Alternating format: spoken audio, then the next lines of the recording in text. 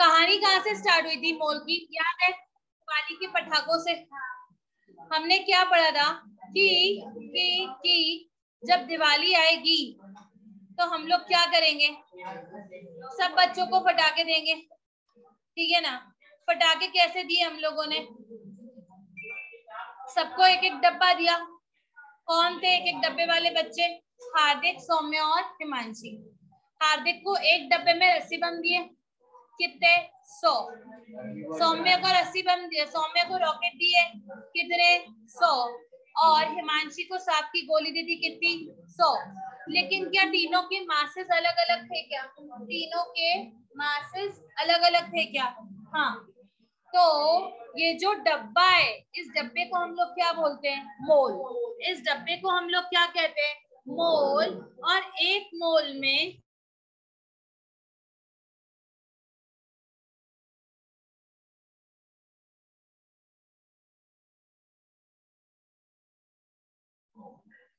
इस एक मोल में, इस एक मोल में, इस एक मोल में अलग अलग के एटम्स के, हमेशा कितने नंबर ऑफ़ एटम्स के मॉलिक्यूल रहेंगे? 6.023 into 10 to the power 23 इस नंबर को हम लोग क्या कहते हैं? एवोगाड्रोस नंबर लेकिन इनके जो मास होंगे, वो मास क्या होंगे? इनके एटॉमिक मास या मॉलिक्यूलर मासेस जो इनके मास होंगे, वो क्या होंगे इनके? अटोमिक मास या फिर मॉलिक्यूलर मासेस आ रही है बात समझ में? ठीक है। अब हम लोगों ने क्या करा? अब हम लोगों ने देखा कि वन मोल जो होता है, वो हमेशा किसके इक्वल होता है? अटोमिक मास के या फॉर्मुला यूनिट मास के या मॉलिक्यूलर मास के। जिसको हम लोग क्या कह देते हैं? जिसको हम लोग कह देते हैं मोलर मास क्या कह देते हैं? क्योंकि what is molar mass mass of one mole what is molar mass mass of one mole और ये हमेशा किसके इक्वल होगा? एवोगाड्रोस नंबर की हमेशा किसके इक्वल होगा? एवोगाड्रोस नंबर की अब आगे लॉजिक क्या है? आगे लॉजिक बहुत सॉर्टेड है। हमने बोला कि मोल कंसेप्ट से एग्ज़ाम में कितने तरह के क्वेश्चन आएँगे? चार तरह के क्वेश्चन आ सकते हैं। पहला टाइप क्या होगा इन क्वेश्चंस का?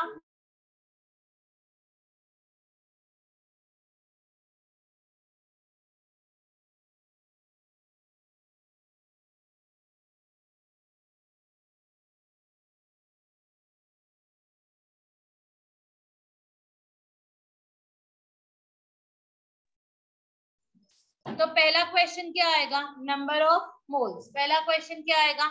नंबर ऑफ़ मोल्स दूसरा क्वेश्चन क्या आएगा? नंबर ऑफ़ पार्टिकल्स निकालने के लिए. नंबर ऑफ़ पार्टिकल्स का यहाँ मतलब क्या होता है? एटम्स मॉलिक्यूल्स और आयंस क्या होता है?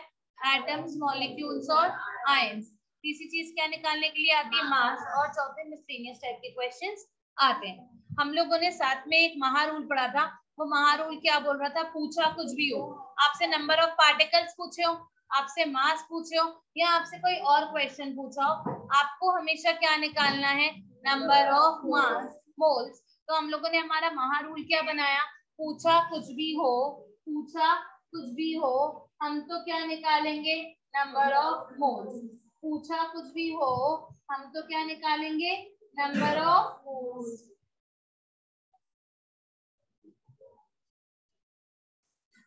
ठीक है? अब नंबर ऑफ़ मोल्स निकालने के लिए हमने कितने फॉर्मूला पढ़े? दो। नंबर ऑफ़ मोल्स निकालने के लिए हमने कितने फॉर्मूला पढ़े? दो। पहला क्या? गिवन मास अपॉन में मोलर मास हमें कैसे पता चलेगा कि क्वेश्चन में मास गिवन है? हमें ऐसे पता चलेगा कि जब क्वेश्चन में जो फ़िज़िकल क्वांटिटी दी हुई है, अगर उसकी यूनिट ग्राम आ रही है या उसकी यूनिट एटॉमिक मास यूनिट आ रही है, यानी कि यू आ रही है तो हम लोग क्या बोलेंगे कि हमें क्वेश्चन में क्या दिया हुआ है? मास और तब हम लोग कौन सा फॉर्मूला लगाएँगे? ये वाला। दूसरा फॉर्मूला क्या होता है? गिवन नंबर ऑफ़ पार्टिकल्स मतलब अगर मुझे क्या देके रखे? नंबर ऑफ़ एटम्स देके रखे या नंबर ऑफ़ मॉलिक्यूल्स देके रखे? ठीक है? तो नंबर ऑफ़ मोल्स निकालने के लिए मैं क्या करूँगी? जो भी क्वेश्चन में वैल्यू देके रखी है अपॉन में क्या कर देंगे? Avogadro's number that is 6.022 into 10 to the power 23 clear है क्या? ठीक है? अब क्या इन दोनों केसेस में, क्या दोनों फॉर्मुलेज में मुझे डिनोमिनेटर पहले से ही पता होगा? हाँ मोलर मास भी पता होगा और एवोगाड्रोस नंबर का तो वैल्यू फिक्स ही है। मोलर मास कैसे निकालते हैं? सारे एटम्स को उनके मासेस से ऐड करके। जैसे कार्बन डाइऑक्साइड का मोलर मास में हमने देखा कि एक कार्बन है और दो ऑक्सीजन है। एक कार्बन है और दो ऑक्सीजन है। तो ऐसे में हम लोगों ने बोला, एक कार्बन कितना होगा? बारह का। एक ऑक्सीजन कितने का होगा? सोलह का। तो इन दोनों के मासेस को ऐड किया तो कितना आ गया? Forty four is that clear one into twelve plus two into sixteen is that clear ठीक है। फिर हम लोगों ने चार क्वेश्चंस करे थे किस चीज़ पे नंबर ऑफ़ मोल्स निकालने के लिए। और इसके बाद मैं तुम्हें कंसेप्ट समझाया था कि अगर क्वेश्चन में मोल्स ना निकालने हो और इसकी जगह क्या निकालना हो? मास निकालना हो तो मास निकालने का फॉर्मूला क्या होगा? Number of moles into molar mass तो क्या ये बात सच है? पूछा कुछ भी हो, हम तो क्या निकालेंगे? नंबर ऑफ़ मोल्स ही निकालेंगे। अगर मुझसे पार्टिकल्स ही पूछे तो मैं क्या निकालूँगी? Number of moles into Avogadro number is that clear चीख चीख के बोला कैलकुलेट द मास ऑफ़ क्या बोला? कैलकुलेट द मास ऑफ़ एकदम झट से मुझे याद आया, अरे मेरा तो एक महारूल है। क्या पूछा कुछ भी हो, पूछा कुछ भी हो तो हम तो नंबर ऑफ़ मोल्स निकालेंगे। लेकिन पार्ट ए में क्वेश्चन वालों को मुझे थैंक यू बोलना है। क्यों थैंक यू बोला है? क्योंकि उन्होंने मुझे नंबर ऑफ़ मोल्स देकर रखे हुए कितने? टू यानी कि यहाँ मुझे नंबर ऑफ़ मोल्स निकालने की ज़रूरत नहीं है। तो अब मुझे क्या फॉर्मूला लगाना है? मास का। मास का फॉर्मूला क्या होता है? नंबर ऑफ़ मोल्स मैं बोल रही हूँ। Number of moles into molar mass अब बहुत ध्यान से सुनना। Number of moles into molar mass क्या मुझे नंबर ऑफ़ मोल्स देके रखे हुए कितने? टू अब सुनो, मुद्दा कहाँ आएगा? मोलर मास में क्यों? यहाँ चीख चीख के उन्होंने बोला है नाइट्रोजन गैस क्या बोला है? नाइट्रोजन गैस तो बेटा नाइट्रोजन गैस का मतलब होता है N2 क्या होता है? N2 क्योंकि कभी कभी कभी कभी लाइफ में कंफ्यूजन हो जाता है। नाइट्रोजन गैस बोले। नाइट्रोजन गैस बोले तो क्या लेना है? N2 तो मैं बोले नाइट्रोजन मॉलिक्यूल क्या कहे नाइट्रोजन मॉलिक्यूल तो भी तुम्हें क्या लेना है? N2 अगर तुम्हें कहे नाइट्रोजन एटम, अगर तुम्हें कहे नाइट्रोजन एटम, तब तुम्हें क्या लेना है? एन ये बात क्यों बताई बेटा? क्योंकि जब हम लोग मोलर मास निकालेंगे तो नाइट्रोजन के एक एटम का मास तो कितना होता है? फोर्टीन तो एन टू का मास कितना होगा? Two into fourteen that is कितना? ट्वेंटी एट तो यहाँ पर जो मेरा आंसर आएगा वो कितना आएगा? यहाँ पर जो मेरा आंसर आएगा, वो आएगा two into twenty eight that comes to fifty six आई क्या बात समझ में?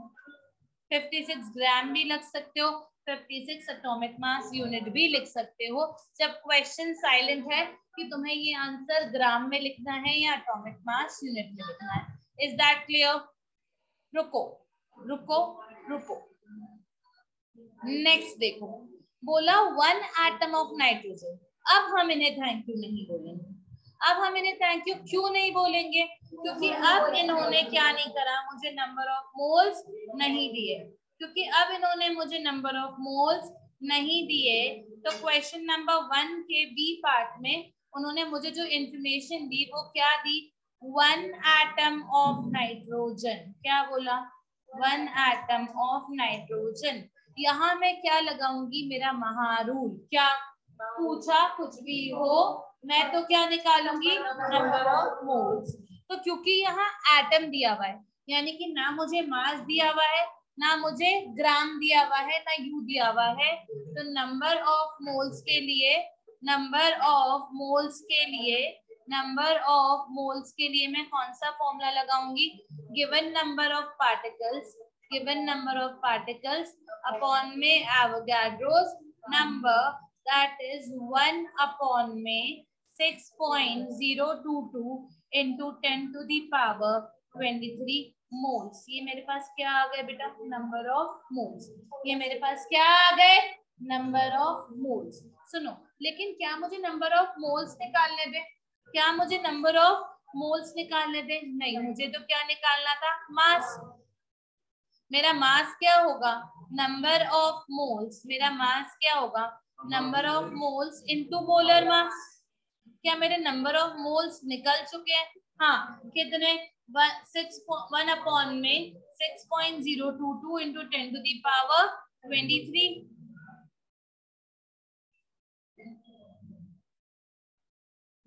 ठीक है? और मोलर मास नाइट्रोजन एटम का लेंगे कि नाइट्रोजन मॉलिक्यूल का?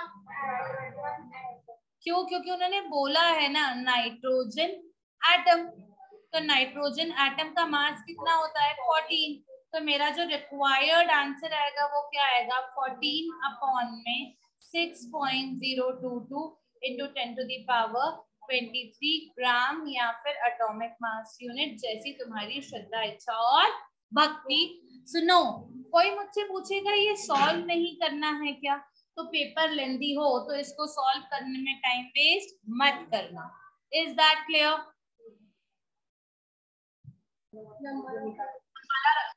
क्या बोलता है? पूछा कुछ भी हो, हम तो क्या निकालेंगे? नंबर ऑफ़ मोल्स क्या क्वेश्चन में देखो बेचारे चीख चीख के बोल रहे हैं ट्वेंटी मोल्स क्या यहाँ हमें थैंक यू बोलना पड़ेगा? हाँ क्योंकि उन्होंने क्या किया? उन्हें हमें उन्होंने हमें नंबर ऑफ़ मोल्स तो दे दिए ये तो अच्छे लोग हैं। हाँ कि नहीं? अब मुझे क्या निकालने हैं? नंबर ऑफ़ एटम्स निकालने ठीक है हमारे पास फॉर्मूला क्या है? Number of moles into Avogadro's number यही है।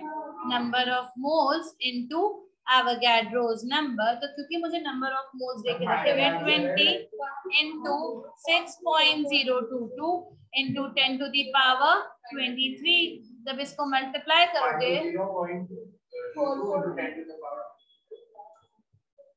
twelve point zero four four into ten to the power twenty three या फिर twelve one point two zero four four into 10 to the power 22 atoms. दो minute एक minute ये हो जाएगा 120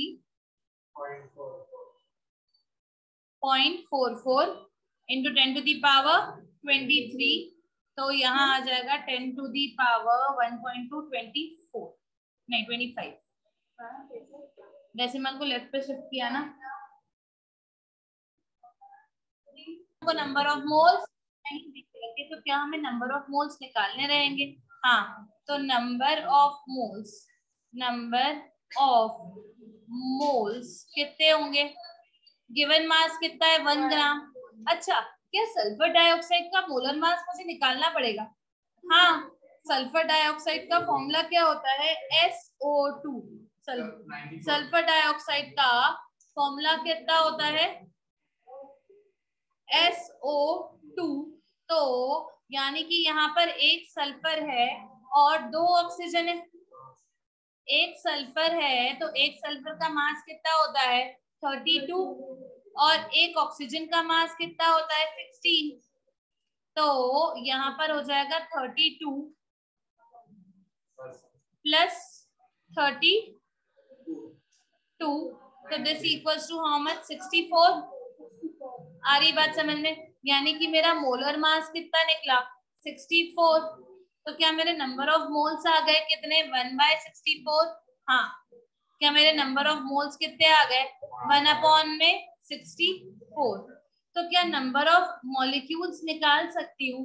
हाँ। Number of moles into Avogadro number number of moles into Avogadro's number तो number of moles कितने हैं? वन अपॉन में sixty four into six point zero two two into ten to the power twenty three that comes to six point zero two two into ten to the power twenty three upon में कितना? Sixty four is that clear